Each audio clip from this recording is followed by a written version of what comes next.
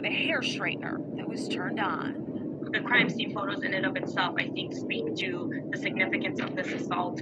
Torture, criminal sexual conduct, and assault to a 30 year old Dekenta Parchman is charged with for terrorizing an ex girlfriend late last month at this Van Buren Township apartment.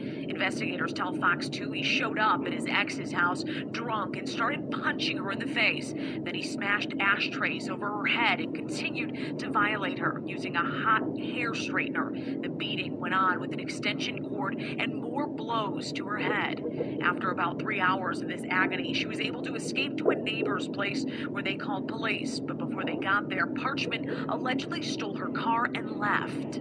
Earlier this week, the U.S. Marshals tracked him to Taylor. He was in a